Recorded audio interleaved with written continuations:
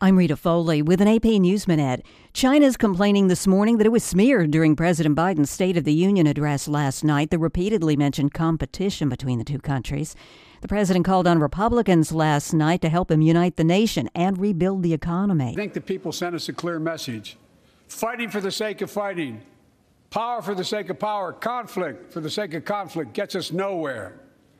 That's always been my vision of our country, and I know it's many of yours to restore the soul of this nation, to rebuild the backbone of America, America's middle class, and to unite the country.